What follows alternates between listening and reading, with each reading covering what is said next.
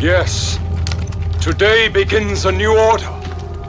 Your lands, your possessions, your very lives will gladly be given in tribute to me.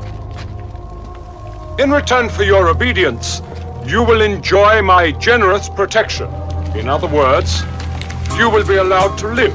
Yeah, freedom's scrolling key lunatics upside down crucifix on they rosary.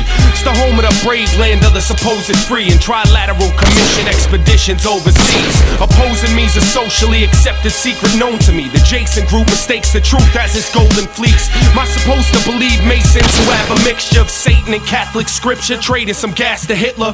Should i believe when your forefathers jack the ripper and you worship statues in the forest and practice wicca i've seen it unfold. Summer season reading a scroll translating Mason speaking in code at Bohemian Grove. Prince Bernhard of the Netherlands left some evidence, and the Bilderberg shows our presidents ever since. Veteran Illuminati invaded the Scottish Rite, denounced God and Christ, worship man and forgot the light. So I gotta fight, cause I don't care how it sounds. The CIA planted C4 to bring the towers down.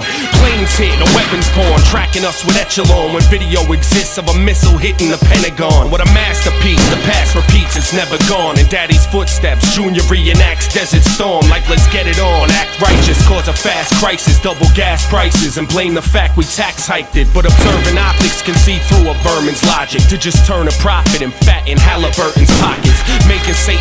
Lakes out a higher place. So this time I break, there's only so much I can take. Here's the truth, we the people have been seeing your attempts and realize we the ones you declared war against. Here's the truth, I refuse to have you controlling me with my faith in a bunch of snakes. I just don't believe believe. Here's the truth. We the people have been seeing your attempts and realize we the ones you declared war against. Here's the truth. I refuse to have you controlling me with my faith in a bunch of snakes. I just don't believe. The Holy Roman crown is sacred, and it seems the house of David left black nobility and Jesus somehow related. Black don't refer to the color of these cowards' faces. Their powder pasted skin makes them the proudest races. Illuminated lineage of lonely chromosomes, known for seeking the return of the Holy Roman throne. Committee of 300, calling shots close to home. Tapping in your mobile phones, matching up your vocal tones. It's your darkest beliefs started with Harvard's elite and Yale's fraternal orders, marketing the market of beasts.